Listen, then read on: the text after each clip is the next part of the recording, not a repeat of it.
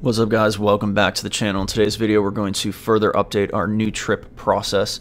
Uh, let me show you what we'll have done by the end of this video.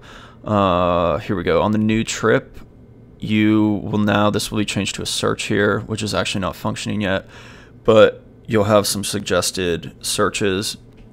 If you click on any of these, you'll see it animates nicely to this uh, to the trip over on the next page for the select date. Uh, and if you go back, it animates back down. All right, let's get started with that. All right, so let's get started updating our location view. Uh, the first thing we want to do is move that search bar up to the top. So go ahead and find the column here. We can just go ahead and get rid of this centering vertically. And if we save it, that should just pop everything up to the top. Now, we don't really actually want this continue button anymore because what's going to happen is uh, we're going to search for stuff and the results are going to pop down here and then we'll click on one of those and it'll bring us to the next page. So for the button, let's just go ahead and remove that. We can keep it down here just so we could see what we were doing there uh, if we need to come back to it later. But yeah, the button can be gone. Uh, also, where it says enter a location, we don't really need that text anymore. So go ahead and just get rid of that. Uh, let's add some slight style to this search box.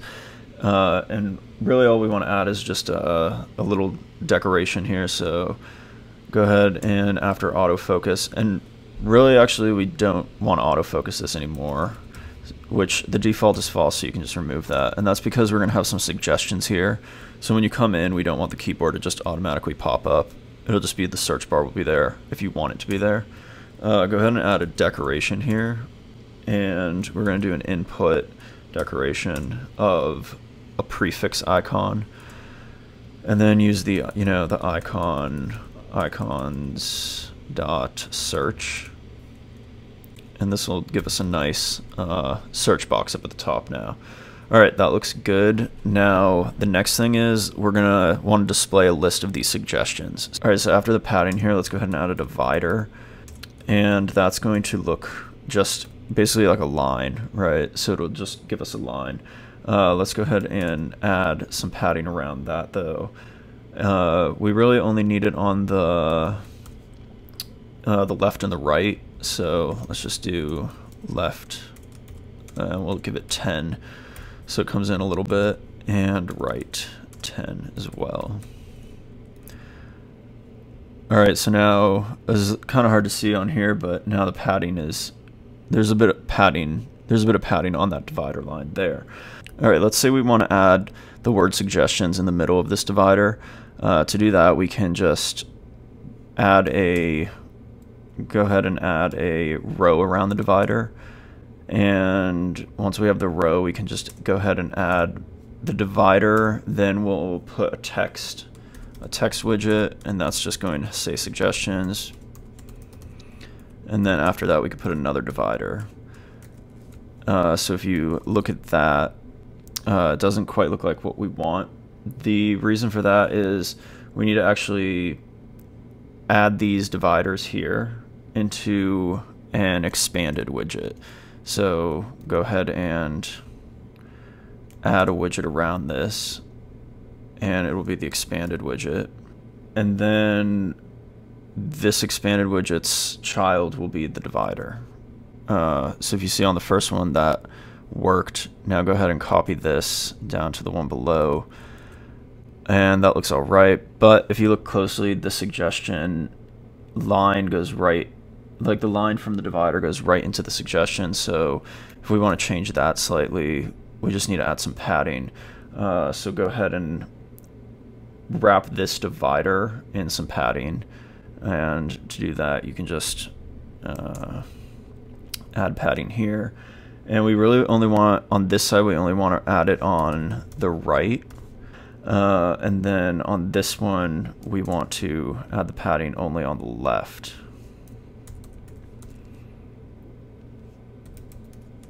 Alright, and now the suggestion word is printed there quite nicely. Um, this right here, this whole row, is actually quite useful and we'll probably use it again. So let's go ahead and create this as a widget right now so that we can reuse it later on down the line. And basically what that would be is we could just, so we can give any, any word variable there and we'll have a a new divider. To extract this as a widget, just go ahead and highlight the whole widget here uh, just for the row and then right click refactor and extract it to a Flutter widget. And then we're you can just call this um, whatever you like. I'm gonna call it the divider, the divider with text, because we already have a divider widget. Uh, so once we refactored that, we have the divider there, and then down here, uh, you can see that new class was created. Um, and this was given a constructor right here that is not taking any parameters, but let's go ahead and require a text field. So it'll be a string divider text. And we're going to require that in our constructor. So, oh, we need a this in front of that. So now when we add one of these, we just need to give it a, any string, and then that string uh, will be printed in the middle of our of our divider, just as you see there. So we just need to pass this divider text and we could give it suggestion. All right, and if you run it, everything should run exactly the same. All right, great. So we got the divider. The next thing we want to add is going to be the list of suggestions. In a past video, basically what we did on this front screen is created these custom cards. We're going to do very much the same thing here. Uh, we're just going to create them for a new type of data, which is actually going to be called uh, we're going to call it a place. So when a place is searched, it'll be a card here that comes up. So just like how we did it in the in the in the front here, go ahead and create um, pretty much exactly what this is. Just these place cards, but they're only going to have the title and the average budget.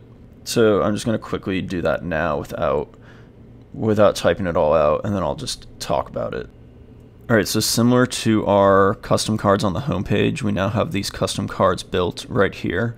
So the first thing we did, I'll just quickly go over but there's a full video on that, on how to create these. We have a new model now called uh, places, and right now it's just taking two two uh, variables, which is the name and the average budget. As you can see here, name New York, average budget is, you know, that dollar amount. Um, so with that, we just created a few dummy data places right here and that we call the places list. So now down in our, we have a builder place card now in this uh, widget here, which is actually just being called by a list view builder up in our main scaffold. Make sure this is in, in wrapped in an expanded widget, and that'll just allow this to be scrollable and take up the rest of the screen within, I guess the only other thing really to point out that makes this different than our other custom widgets, well, there's two things. I guess the layout of it, how it's kind of like a two column layout, and the fact that they're clickable. So if you click on this, for instance, Austin, you'll see it brings us to the next page, and Austin is that Austin location is saved over. So just like how we had before, if you look down here in our commented out section from the old code, we were saving our trip title on our trip object to just be the uh, the the basically the text of that search box, and now we're gonna save it to be uh, right here. We're gonna save it to be the uh, the index of our card. So whichever card is selected from that places list, we're just gonna use the name of that. So Austin would be that example. If you click this one, it'll say Boston. Uh, and so forth. Now, the reason we have an on tapped method here in these cards is because we wrapped the whole um, the whole row of the card. Basically, the card is one large inkwell, and the inkwell allows you to have an on tapped method. So that's why these are clickable, whereas our homepage ones are not clickable, which is going to change actually uh, eventually. Uh, but yeah, I think this will, and I'll put all this code up on GitHub. Uh, I guess one other quick thing to note is the way this is laid out. Um, it is one row, right? So this inkwell is just one row right here. You can think of it. So it has a row with just, I mean, basically the whole card is just one row. Um, and then inside that row, we have two columns. So there's the column which is just the image, and then there's the column that's that's uh, everything else. the column with everything else is also wrapped in an expanded widget, and that just makes it take up the rest of the, fill up the rest of the container of that row. For the image right now, we're just using a placeholder because we still need to be pulling in image data, uh, which this placeholder widget is nice for mocking up what you want like that. I went ahead and created another widget on the date view, and you can see when you select one of these, like Austin, for example, we now have this uh, this new widget up here with a bit more information of what we just selected. Um, now, this is just an example to show you kind of what it will look like. None of the information is really filled in. What I really want to show you is a, a cool transition that we can do from this widget to this widget. I guess briefly I'll just talk about how this widget was built. It's very similar to how you would have built any of these widgets. Just remove the inkwell and kind of simplify it. So in the date view, uh, again, I have a build selected details widget now, and it's just a card with one row, uh, and then two columns, the expanded column, and which is all the text, and then an image column.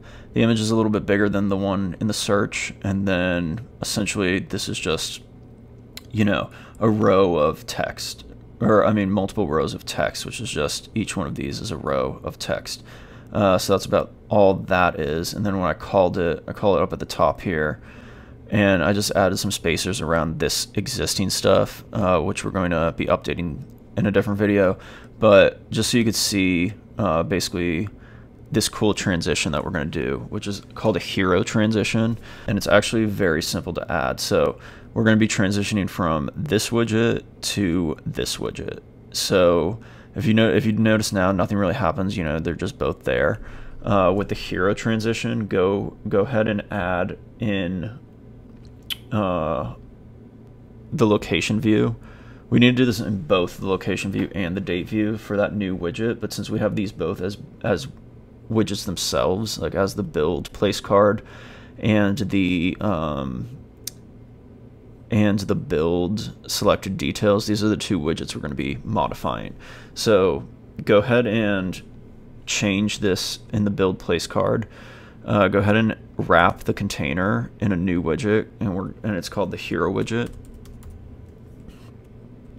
And then we need to give that a tag. So this tag is just a string, and we're going to call it the selected. We're going to call it the selected trip, but this needs to be unique because there's multiple you know, there's multiple uh, of these cards being built. So just do a dash there, and then we're going to give it the actual. We have the the index here, but we don't. We're not going to have that index on our date view. So we need something that we're going to have on both. Which, if you notice down here, we pass this name, this uh, this place's name. So we can use this to keep these unique and identify each one individually, each card individually. Then go ahead and actually add this transition on user gestures and set that equal to true. What that's going to do is allow the iOS transitions, uh, the back swiping, to also use this uh, hero widget in the transition of the back swipe. So we want that set there. That's going to be it on this side. And then we're going to do very much similar thing over on this side which is the build selected details widget. Just go ahead and add or wrap that in a hero widget as well. And then we need to give that um, basically these same two things, the uh, the tag and the transition. Now this uh, this places list.index name is not actually a thing here in the date view, but it it is called. We do have that variable. It's just called the uh, trip title now. If you, because um, if you if you notice down here, we're actually saving the trip title to that and passing just the trip title over to you know this date view. So the date view has the same value, but it's called the trip title. So go ahead and use that. And now when you save that and rerun it, um, and you click on one of these, you'll see kind of a nice animation there you'll see it kind of like expands up to the top and animates. Uh, you'll also notice we're getting a little bit of an error, and that's because our height here is now larger than our height was in the in our original widget. So to fix that is actually also pretty simple. We just need to add this widget into a scrolling child view or a single child scroll view. So go ahead and find this card here. And this is under the selected details. And just go ahead and add another widget around that. And it's called the single child scroll view. So when you add that in, it should fix that error we were getting. Uh, and you'll notice like if you click one of these, it it animates up to the top, which looks kind of nice. And then when you go back, it you know it shrinks it back down. Uh, and this also because we added that uh, transition on user gestures. If you're on iOS and you if you swipe back like this, it'll still do that animation there. Yeah, so that's going to be it for now. Again, the code I didn't fully write out everything, but I will put a link to it in the bio of this video. Uh, but yeah, comment if you are getting stuck on anything or you want to see anything more specifically. Good stuff. Ciao for now.